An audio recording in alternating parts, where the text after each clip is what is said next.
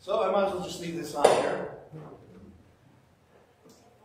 Hey, it'll keep you focused on what you're looking at. Hey, look at that guy. He's, he's nuts. Grace to you and peace from God our Father, to Christ Jesus, his Son, our Lord, who is the only resurrection and the life. Amen. So these people, and because of some type, some spell check things that you read that was run through, instead of Cappadocia, these people came from Cappuccino. and from instead of from Pontus, they came from pontoons. You gotta love Microsoft spell check, don't you? Instead of coeternal, co uh, it came up, I don't know what came up there. So, interesting thing is, when you use the spell check, get used to having add vocabulary, add vocabulary when you do, whenever you're doing anything religious. Well, as mentioned with the kids here, Peter had to go outside when they started speaking in foreign languages. Now, this isn't the tongues that you see in the charismatic churches where they're babbling and no one can understand. And even St. Paul mentions, what good is that unless you have someone who can interpret? That's a whole different thing came ever later. That's called glossolalia. But the gift that came upon the apostles was the purpose of what? To be able to communicate to the people to whom they were supposed to go. Remember what was told to them? Remain in Jerusalem until you receive power on on high. Then beginning in Jerusalem, go out into Judea and then Samaria and then to the very ends of the earth, proclaiming everything that I've taught you baptizing them in the name of the Father, and the Son, and the Holy Spirit. So, Thomas, doubting Thomas, was given the gift of speaking probably Hindi, because it's known that he is went to India. And to this day, there is still called a church, Mar Thoma, means St. Thomas Church. St. Andrew went to Spain all of them. Eventually, when Jerusalem was destroyed in 73 AD, they finally scattered. But they didn't move fast enough. They sat on their hands in Jerusalem for another 20 years after receiving the Holy Spirit. Well, actually, more like 30. So in the interim, what did God have to do? Since these people aren't moving, I'm going to get another one. And he got St. Paul into the action. And he became the apostle to the Gentiles. That's you and me. People who are not part of the original covenant. So this very strange gift was a miraculous gift that everyone, if we had, there'd be so much less problems in the world. Married guys, yeah, like you, back at you, what does it mean when your wife says, fine? it can mean any of a number of things, right? But usually, it does not mean fine. Especially after you've been discussing it for a while, and she gets tight-lipped and goes, fine. And then looks off into the distance, realizing, you're going to pay for this later. You, you agree that you've done that to your husband? Oh, yeah. Oh, oh yeah. That's, and, and that's near at home with our own families. Think of what goes on when you have religion, uh, I should say tongues, speech, so very different. How different is English from Russian? Completely different roots, completely different grammar. You think there's ever been true understanding between the two languages? Someone back in the late 60s, I'm sure they've improved it since then, tried to come up with a computer program that would convert from one language to the other. But then they started trying to work with idioms, idiomatic speech that we have in English. Out of mind, I mean, out of sight, out of mind, right? It means what? If you don't see it for long enough, you forget about it. You translated that into Russia came out blind and insane. That's not quite what was intended, right? idioms do not go from language to language very well, and yet we use them so very often. What kind of shortcuts do you take in speech?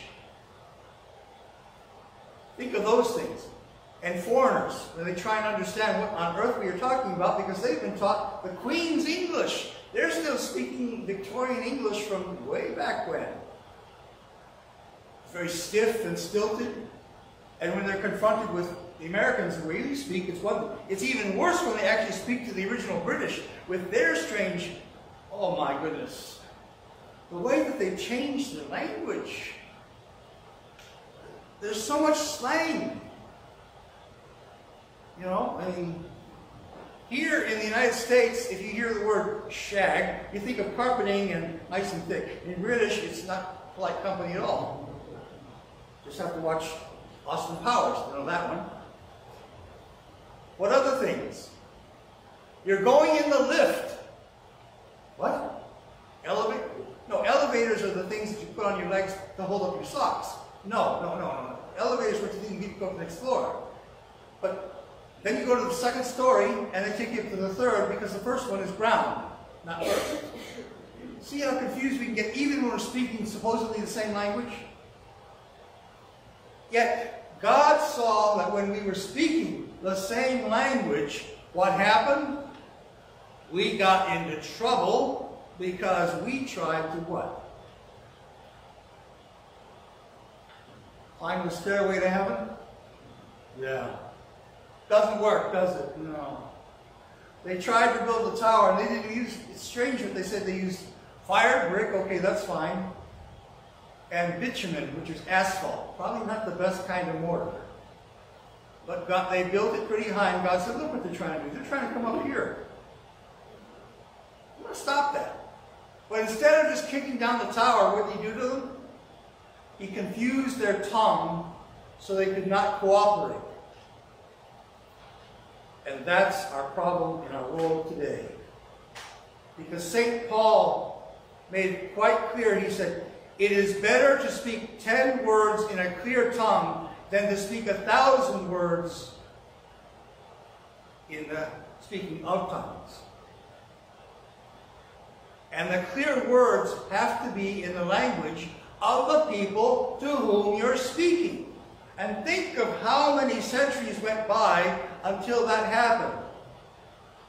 In all of Europe, people were going to Mass, and they were just standing there, and the Mass was going on in Latin, and they were just twiddling their thumbs. And they had to introduce the beadle. He was the guy who clanged a little bell when the priest said, Hoc corpus meum, so they know that it was the Lord's Supper, because they couldn't understand the words. But who fixed that? And he was accused of sacrilege and blasphemy for doing it. Our very own Martin Luther. He made the Deutsche Messe, the German Mass. He had it in the German language. And because the people were so ignorant of what was going on in the service, he replaced most of the liturgical parts with new songs that he had written. And while it's not true that he tuned all of them to beer songs, there was at least one that he did do that to. Because the people found were, known quite well. Well, have you ever had a tune running through your head and you just can't forget it because you can't remember the title or who did it, but somehow the, the tune is in your head and won't go away? That's how it is with the music of the church. People remember the songs better than they remember the prose. When someone speaks to you,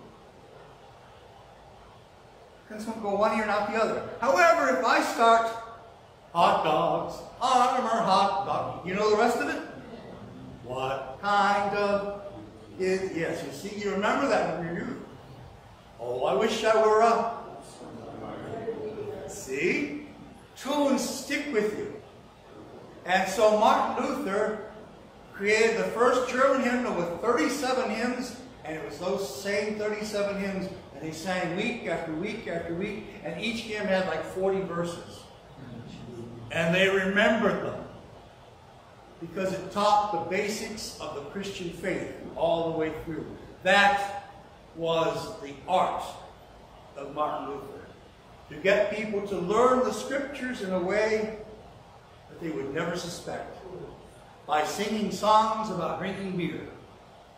Or that came from songs about drinking beer. Using their tunes. And that wasn't uncommon. I mean, because Martin Luther himself complained, the very first parish that he was at, he says, the people here do nothing except grow barley, turn it into beer, and drink it. That's their whole life. Yeah, and Tom says, that sounds good to me. And that's part of the whole German thing that was going on. And, and what was it? Is it a big deal? No. Abuse it? Yeah. And even, even he called it liquid bread. And he said that so many people here overdrink, and yet what was his usual practice? After dinner, he would sit at the table with his students and his friends, and he would drink three great big steins of warm beer. Each stein held about a quart and a half. And that was considered moderate drinking to the Germans. Now, the reason I mention all this is why? Because cultures change, but the doctrines of the church do not. They never change the message. It's just how it's presented. If I speak in the tongues of men and the angels, but I do not have love, then I have become a sounding gong or a clanging cymbal. Remember hearing that from St. Paul? You can speak to people, but if it's not from the love of your heart, it's meaningless. If I have the gift of prophecy and understand all mysteries and all knowledge, and I have all faith so that I can move mountains, but I do not have love, then I am nothing. Love never fails. And the thing about this whole passage, this whole chapter in 1 Corinthians is you could replace the word love with the name Jesus, and it would make perfectly good sense. If I have faith that can move mountains, but I do not have Jesus, then it is nothing. Make sense? Yeah. Jesus never fails. Make sense? You betcha. When I was a child, I spoke as a child, understood as a child, I thought as a child. When I became a man, I put away childish things. And we know that these things, these things abide. Faith, hope, and love, which you can call Jesus. These are the greatest. And the greatest of all is love. That is Jesus. Now there are greater gifts that come from God that we see very rarely, but that's because we don't read things like the Ecclesiasticus. It's an extra book. It's in the Apocrypha. My son, when you are sick, repent of your sins. Take your offering to the priest. Then go see the doctor, because that's why God created doctors. That's actually what it says in there. God gave us these gifts so that we should take advantage of them and use them wisely. God doesn't necessarily want us to always have miraculous cures all the time, but to depend upon what? One another for what? Everything that we need in life. Like if we want a nice casserole, how many ladies here can make really nice casseroles? Mm, no, yes, yes, no. Or, or if you're in Wisconsin, I guess you call it hot dish. Yeah, one of those things. How many can make good pasties? I love pasties, but you don't, you don't make them around here. All these things are gifts. How many of you are hospitable? And you will have people, have a guest room for people to stay when they're traveling through. These days, with a stranger off the street, that can be dangerous. But once upon a time, that was the thing to do. I remember one lady growing up in the Depression years. You know, she said, one chicken her mother made it last for two, two meals, major ones. First day, she would boil it to get out all the fat and make soup. The next day, she would roast it, and it would get to the family. And the dad always got the, huge, the, the, largest portion because he was the one who worked for a living and brought, home for, brought money home for the rest of the family. And yet he, she said, anytime a hobo came by the back door, she always managed to put together a couple of sandwiches for him to go, somehow. And yet she said, we often had to have lard on bread with a little salt. You can live on it, but you probably wouldn't want to live on it a lot, you know. That's the gift of generosity and hospitality in a time of great need, when you realize that there are people who are are. And all of these things, all of them come from what? Having the gift of the Holy Spirit having descended into your heart and made you different from the rest of the world, a child of God, so that you have the gifts of the Spirit, generosity, kindness, mercy, patience, long-suffering, a little different from patience, and, and all these others. Able to do what? To do things in this world that are unexpected. Yesterday I went through a Jimmy John's drive-through.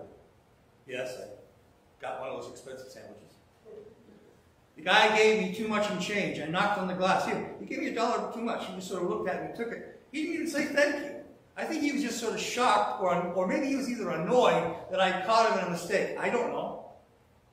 But nevertheless, how many people do that? I only do it because I like to pat myself on the back and, hey, I gave back a dollar. But do you do that in the grocery store when they give you that change? Sometimes you don't even think about it. You just stick it in your wallet or your pocket.